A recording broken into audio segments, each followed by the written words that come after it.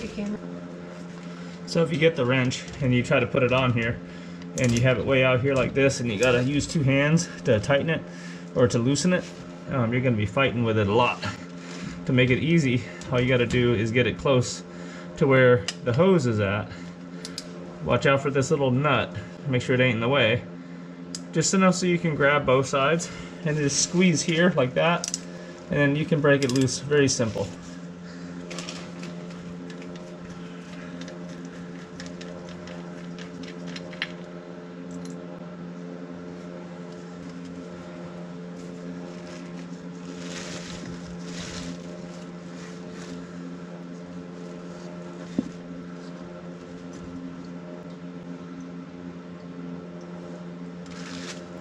I'm going to dump all the fuel.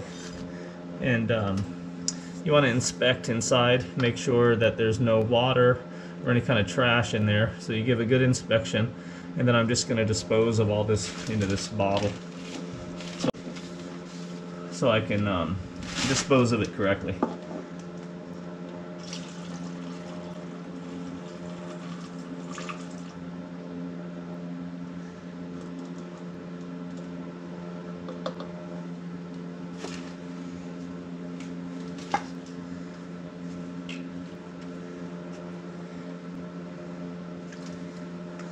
See a little bit of trash in there floating around.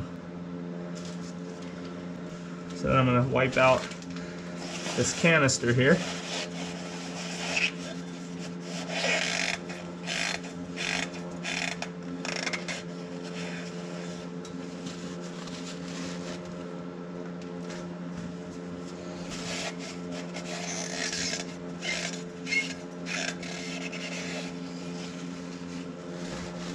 I'm going to wipe out the outside.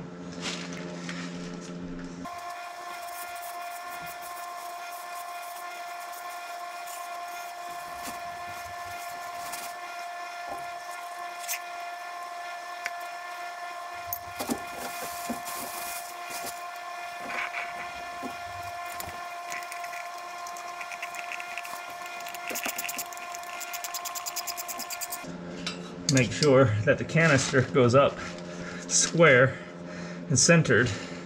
Just use your hands along the outer edge to hold it aligned and you can just tighten it up. So thank you for watching this video. I hope it was helpful and um, please stay tuned to more videos and don't forget to subscribe. And smash the like button if you like it.